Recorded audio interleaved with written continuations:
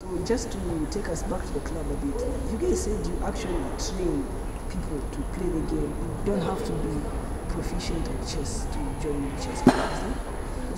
a. Yeah, yeah, that we would say because, like, currently, uh, our coach, uh, our local coach, is Mr. Paul Maloba, he's a lecturer here.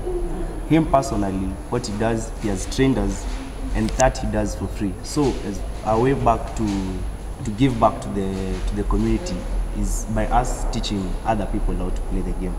So we do we do teach whoever is interested, but I mark the keyword. You have to be have an interest in the game, and not just think of it. But you're welcome to try. If you want to join, you can join.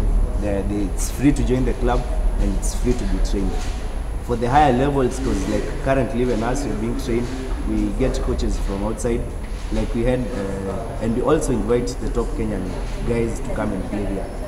We've hosted like uh, the top eight Kenyan guys in here, and they also come and give us tips. Yeah. And then uh, just to just to wind up.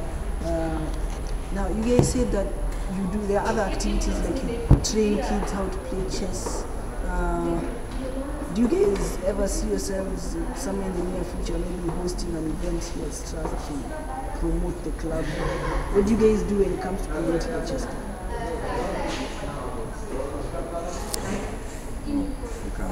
Okay.